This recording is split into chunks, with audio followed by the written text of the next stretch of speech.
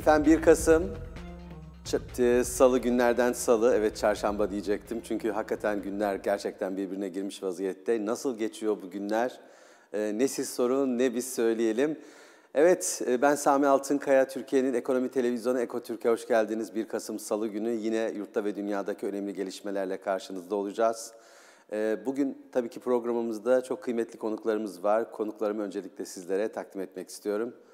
Piyasa yönünde Sadık Mazanoğlu, Osmanlı Yatırım, yatırım uzmanı bizlerle birlikte olacak. Borsa İstanbul'daki son gelişmeleri ve bilançolardaki, 3. çeyrek bilançolardaki e, son durum hakkında da kendisinden bilgiler alacağız. Ve doçent doktor Hüseyin Selimler beklenti raporunda İstanbul Aydın Üniversitesi öğretim üyesi yine verilerin çok konuşulduğu bir haftadayız. Veriler çok konuşulduğu için de tabii ki hocamızın görüşlerini alacağız. Bu konuda neler söyleyecek? Gerçekten bu hafta e, çok fazla veri var. Veri e, rakamlar bombardıman halinde gelmiş vaziyette. Ee, özellikle yarın e, Amerika e, Merkez Bankası Başkanı Fed'in e, Fed Başkanı Jeremy Powell'ın açıklamaları ve Fed'in faiz kararı beklenen 75 bas puan olur. Onun ardından başka bir ne gelir ona bakacağız. Ee, tabii ki yarın bu arada Avrupa bölgesinden de önemli rakamlar var. Almanya Eylül ayı ticaret dengesi, yine Almanya Ekim ayı işsizlik oranı, Almanya Ekim ayı imalat sanayi PMI'yi, Avrupa bölgesi imalat sanayi PMI yani şirketlerin, üreten şirketlerin satın alma direktörleri arasında yapılan bir araştırma, bir anket sonucunda üretimdeki talebin bir anlamda ölçüldüğü PMI verileri gelecek. Yine Avrupa Birliği, e, Amerika Birleşik Devletleri Ekim ayı e, ADP tarım dışı istihdam oranı gelecek. Önden e, Cuma günü de Amerika Birleşik Devletleri'ndeki tarım dışı istihdam Ekim ayına ait gelecek. Yine dediğimiz gibi ABD ham petrol stoklarının miktarı gelecek. Yarın Fed'in faiz kararı, Perşembe günü e, İngiltere Merkez Bankası Bank of e, England'ın e, faiz kararı açıklanacak. Onda da yine 75 bas puan beklentiler dahilinde. Onun dışında İngiltere'deki PMI, Euro bölgesindeki işsizlik oranı, yine rakamların çok fazla konuşulduğu, özellikle Cuma günü Almanya'daki hizmet ve e, bileşik PMI, Avrupa bölgesindeki hizmet PMI'ları ve yine bu ayın 3'ünde Türkiye'de tabii ki bizde de enflasyon rakamları açıklanacak. Enflasyon kaç çıkacak e, ona bakacağız. Bütün bu rakamlar da aslında piyasaların dengesini belirleyecek diyelim. Ve fiyatlamalara bakalım. Fiyatlamalarda özellikle baktığımız zaman piyasalara nasıl açılıyoruz? Borsa İstanbul 3978 seviyesinde. Yine kar satışları var ama borsada bir yükseliş var. Bu yükseliş tabii ki olumlu bir yükseliş. E, Dolar TL karşısında yine e, değer kazanmaya devam ediyor. Hafif bir geri çekilme o 18.61 düzeyinde. 18.60'lara çıpalanmış bir dolar kurunu görüyoruz. Euro TL karşısında değer kazanmış 18.43, sepet kur 18.52, gram altın 980 lira piyasalarda bunun masrafla beraber kuyumculara giderseniz bankalardan aldığınız 980 lira, kuyumculara giderseniz ya da işte kapalı çarşıya giderseniz gram altının da 1000 TL'nin üzerinde olduğunu görürsünüz. Dolar endeksi dün 110 seviyelerindeydi. Gün içinde 112'lere yaklaşırken hafif bir e, geri çekilme 111.31 seviyesinde dolar endeksini DXY'yi görüyoruz. Euro dolar paritesinde Euro'nun dolar karşısında hafif değer kazanması yine bakın dolar endeksindeki gerilme, e, gerileme e, Euro'nun ve diğer para birimlerinde dolar karşısında hafif değer kazanmasını beraberinde getiriyor. Euro dolar paritesi 0.99. Panto dolar karşısında 1.15 seviyesine yükselmiş. Panto da bir yükseliş söz konusu. Ee, doların yen karşısında hafif bir geri çekilmesi var ama yen zaten şu anda dolar karşısında en çok değer kaybeden para birimlerinin de başında geliyor Türk lirasından tabii ki sonra. 148.36 ve dolar İsviçre frankı da e, 1.00'dan işlem görüyor. Uzak Doğu borsaları günü yükselişle başladı. Muhtemelen bugün yükselişle kapatacak. Çin Şangay borsası 2918, Japonya Nikkei 27641, Hong Kong borsası 15030, Güney Kore borsası 2324, Hindistan borsası da 61060 seviyesinden işlem görüyor.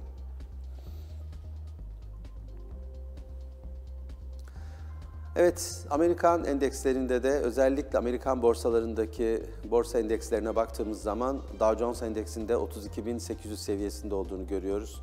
Dün bir miktar kar satışları gelmişti ama e, dolar endeksindeki düşüş borsaları da olum, olumlu yönde etkiledi. S&P 500 3895 ve Nasdaq 11482. Orada da özellikle teknoloji hisselerinin bilançolarının açıklanmasıyla hareketlenen bir borsa piyasaları var.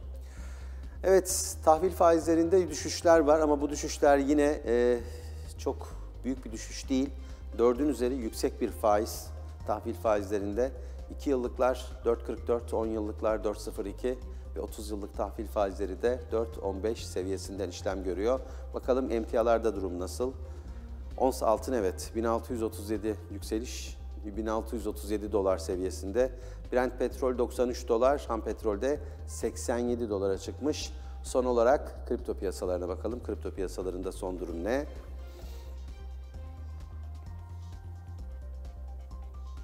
Evet.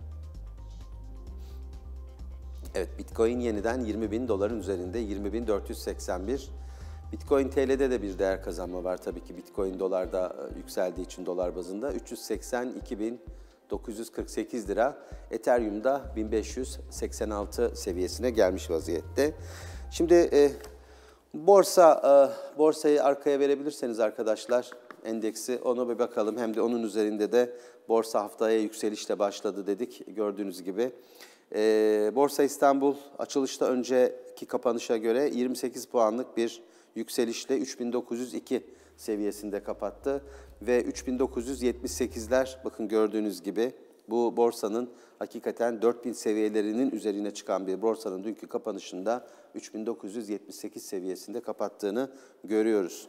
Ve bankacılık endeksi %0.67, holding endeksi de %0.65 e, artış kaydediyor. Sektör endeksleri arasında en fazla değer kazanan sektör, spor endeksleri zaten çok düşüktü biliyorsunuz. E, spor endekslerinde 0.65'lik artış var. E, holding endekslerin e, holding spor endekslerinde 2.84'lük bir artış var spor endekslerinde.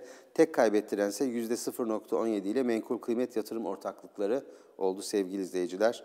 E, yine e, Borsa İstanbul'da 29 Ekim Cumhuriyet Bayramı dolayısıyla Cuma günü yarım gün işlem gerçekleşmişti ve BIST 100 endeksi %1.41 düşüşle 3878'de kapatmıştı. Cuma günü çünkü yine satışlar gelmişti. Endeks geçen hafta genelinde ise e, yine değer kaybetmişti. Çünkü kar satışları peş peşe geldi ama pazartesi günden itibaren yönünü yine emin adımlarla yukarıya doğru çeviren bir Borsa İstanbul'u görüyoruz. Analistler özellikle yarın açıklanacak Fed'in faiz kararı ve bu karar öncesinde de küresel pay piyasalarındaki temkinli bir seyir izlediğini söylüyor. Fed'in bu hafta politika faizini 75 bas puanlık artırması bekleniyor. Beklentiler 75 bas puanlık faiz artışı olacağı yönünde. Buna kesin gözüyle bakılıyor. Aralık ayı toplantısına göre belir, belirsizlik var. Aralık ayında çünkü 75 bas puan artırır diyenler var ama 50 bas puan artırır diyenlerin oranı Aralık ayında hayli arttı. Özellikle enflasyon ve resesyon endişelerinin yanı sıra artan yine jeopolitik riskler tahvil ve emtia piyasalarında hareketliliğin e, odağında bir anlamda devam ediyor. Bu arada e, FED haftası dedik ya, küresel piyasalarda da Amerika Birleşik Devletleri'nde özellikle yarınki Fed'in faiz kararını odaklanmış durumda piyasalar. Dünya genelinde resesyon ihtimalinin güçlenmesiyle Fed'in ultra şahin adımlarını ne kadar daha sürdürebileceğine yönelik soru işaretleri kafalarda devam ediyor. Jeremy Powell'ın e, yarınki toplantı sonrası yapacağı açıklamalar gelecek dönem para politikalarına ilişkin olarak da fikir verecek. O yüzden konuşma gerçekten çok önemli. E, para piyasalarındaki fiyatlamada Fed'in bu hafta 75 bas puan artışına kesin gözüyle bakılıyor ama bu arada Aralık ayı çok önemli. Aralık ayındaki beklenti 50 bas puan olacağı yönünde. E, şimdi Cuma günü, e, geçtiğimiz Cuma günü açıklanan verilere göre e, Fed'in enflasyon göstergesi olarak dikkate aldığı kişisel tüketim harcamaları açıklanmıştı biliyorsunuz ve Amerika Birleşik Devletleri'ndeki 3. çeyrekteki büyüme rakamı aslında küçülmeyi değil, büyümenin de gerçekleşmesi Fed'in bir anlamda elini güçlendirdi. O yüzden tahvil faizlerinde bir geri çekilme, işte borsalarda bir toparlanma, dolar endeksinde bir geri çekilmeyi beraberinde gördük. Bu da bizim için önemli bir ayrıntı. Bunu da sizlerle paylaşmak istedim. Bu arada tabii e, Amerika Birleşik Devletleri'nde hisse bazlı hareketler de endeksleri olumlu yönde etkiliyor. Özellikle teknoloji hisselerindeki e, bilançolarında açıklanmasıyla, örneğin ülkede devam eden bilanço döneminde hisse bazlı hareketler endeksler üzerinde de etkisini devam ettiriyor sevgili izleyiciler. Bilançolar sonrası Cuma gününe düşüşle başlayan e, New York borsası Apple öncülüğünde yükselişe geçerken çünkü Apple'ın borsası e, bilançosu iyi gelmişti. Perşembe günü günü %3 değer kaybeden Apple hisseleri Cuma günü %7,5 artış kaydetti. Bu Cuma zaten Amerika Birleşik Devletleri'ndeki borsaların toparlanmasını da beraberinde getirdi. İşte e, Pfizer gibi, Starbucks gibi, Mars gibi e, şirketlerin bilançolarını açıklaması da bekleniyor. Bu bilançolarda olumlu yönde geleceği şekilde değerlendiriliyor. Şimdi bu tam Amerika Birleşik Devletleri'nde işte piyasalarda hareketlilik, veriler beklenirken Brezilya'da bir seçim oldu ve Brezilya seçimini e, eski devlet başkanı e, kazandı. Eski devlet başkanı yüzde oyların yüzde 50.83'ünü aldı ve solcu eski devlet başkanı Luis e, ya, e, Luna e, da Silva e, da Silva seçimi kazandı. Luis da Silva seçimi kazandı ve Brezilya'da 2003-2010 yıllarında iki dönem başkanlık yapan 77 yaşındaki Da Silva hakkındaki yolsuzluk nedeni e, davaları nedeniyle bir buçuk yıl hapiste kalmış.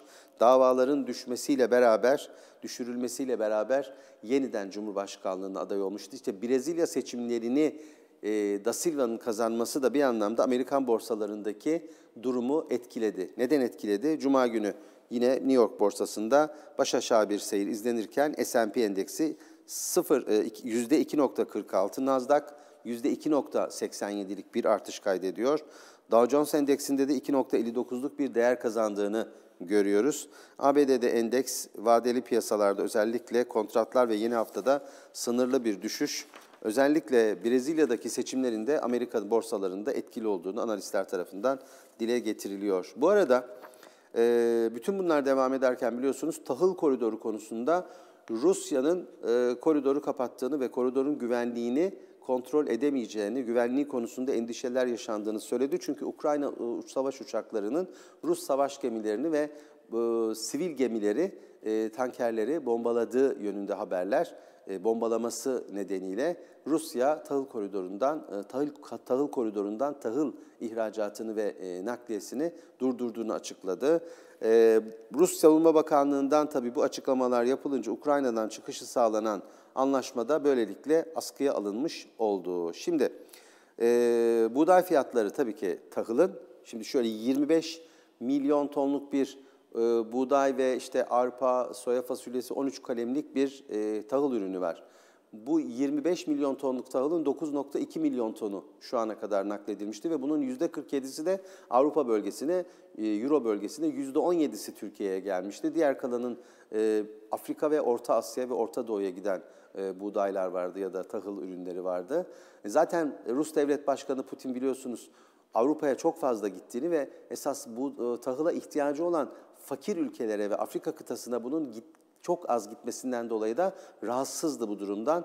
Ee, ama Ukrayna'nın Rus savaş gemilerine saldırı yapması ve e, Rus gemilerine silahla saldırması e, Rusya'nın da Savunma Bakanlığı tarafından yapılan açıklamada e, tahıl sevkiyatının e, kesildiğini beraberinde getirdi. Öyle olunca da tahıl fiyatlarında da, tahıl emtialarında da bir yükselme söz konusu oldu. Baktığımız zaman Buğday vadelilerde 879 e, dolara çıkarken mısır 691 dolardan, şekerde 17.98 dolara çıkmış. Yani bakın gerçekten fiyatlar bir anda yukarıya doğru yönünü çevirmiş durumda. Eğer bu tahıl e, koridorundan tahıl nakliyesi devam etmez ise dünyada daha başka sorunlar yaşanır. Çünkü kış gelmeden bu 25 milyon tonluk e, tahıl ürünlerinin e, dünyaya dağıtılması lazım ki kıtlık tehlikesi ve açlık sorunu ortadan kalksın. Bu çok büyük problemleri beraberinde getirir.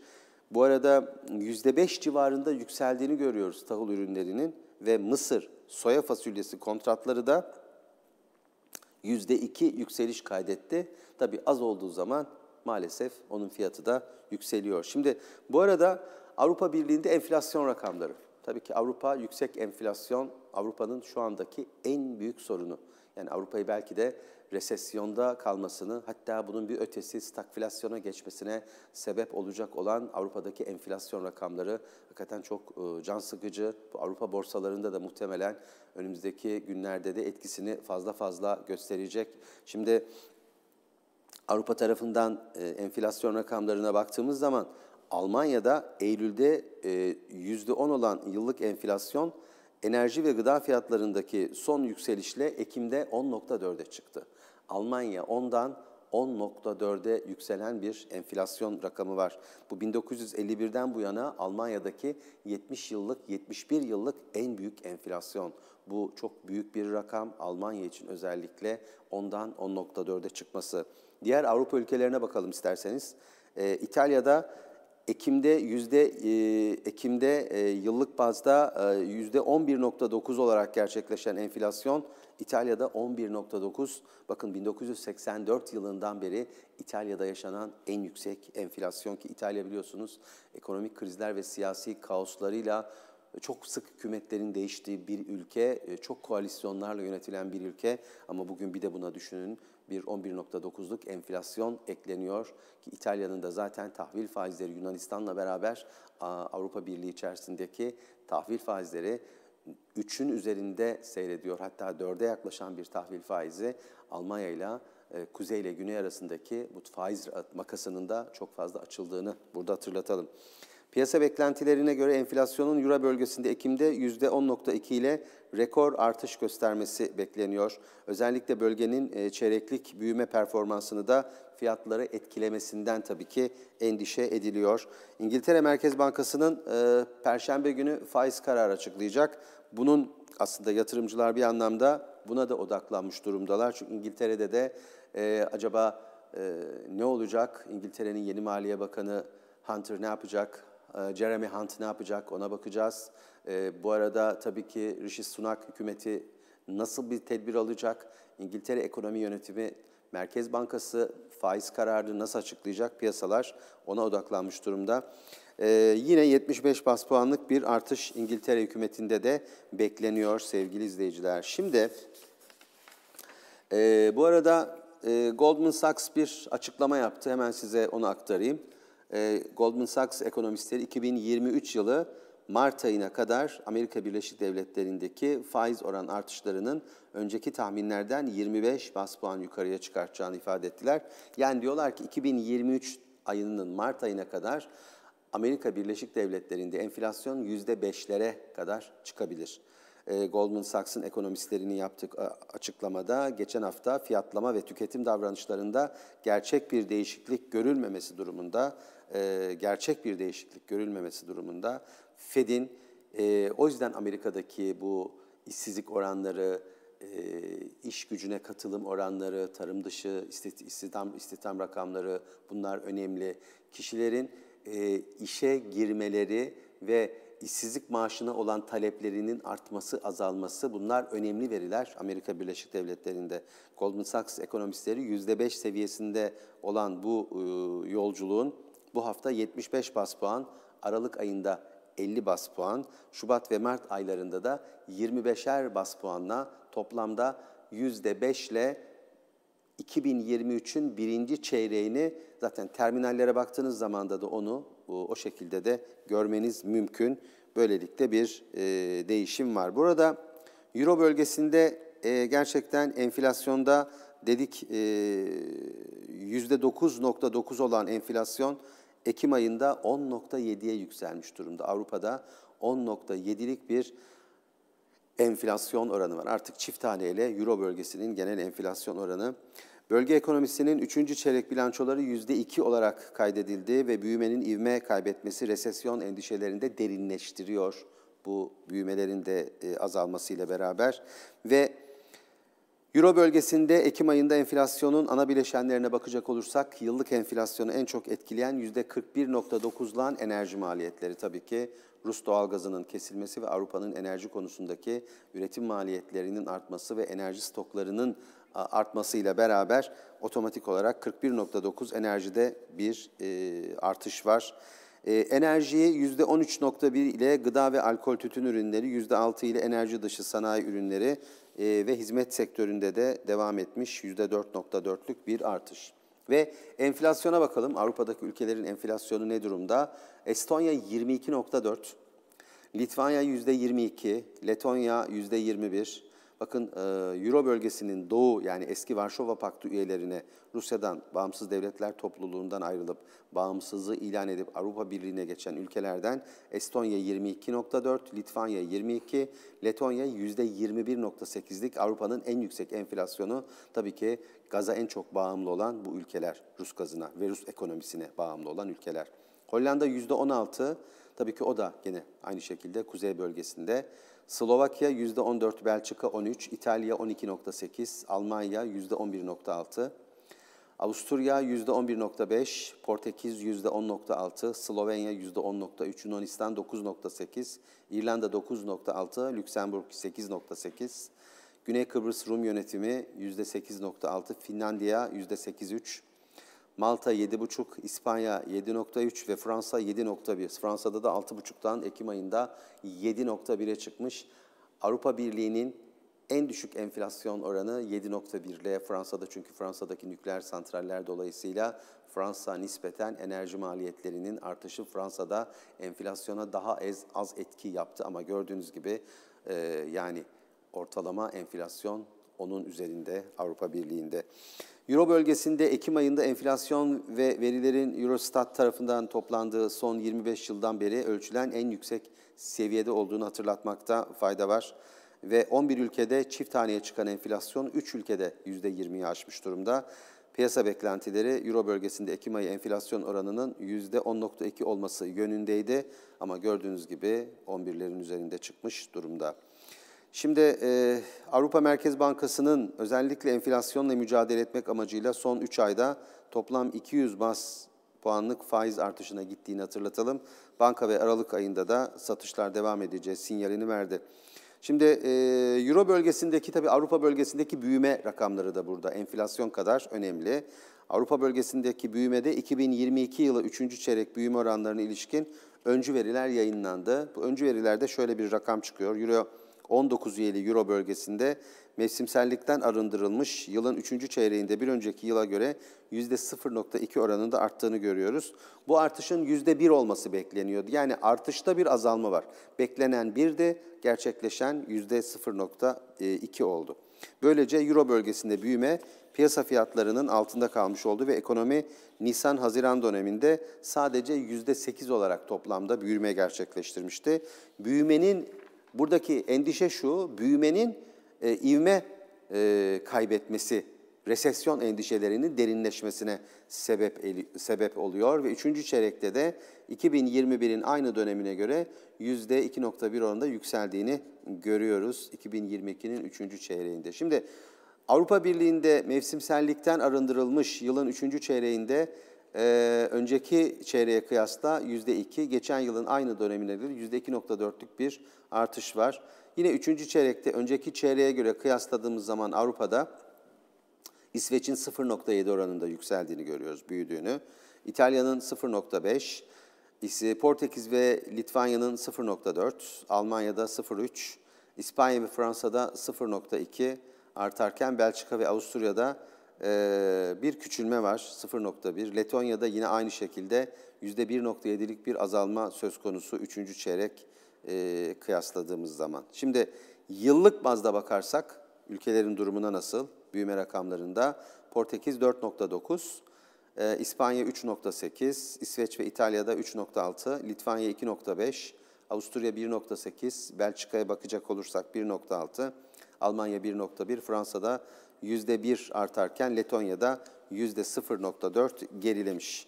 Şimdi Bankacılık Düzenleme ve Denetleme Kurulu'nun özellikle dövizden kur korumalıya geçişleri hızlandırmak adına da bir çalışması var. Bu çalışmayı doçent doktor Hüseyin Selimlerle birlikte sizlere analiz edeceğiz. Yine e, Bankacılık Düzenleme Denetleme Kurulu'nun almış olduğu yeni kararla makro ihtiyati tedbirler artırılıyor ve makro ihtiyati tedbirler çeşitlendiriliyor. Şirketlerin e, ve e, bankaların döviz mevduatlarının TL'ye geçmesi ve dövizin bozdurulması ve bu şekilde de doların baskılanması hedefleniyor. Bu 18.60'da çıpalamayı sabit tutabilmek için.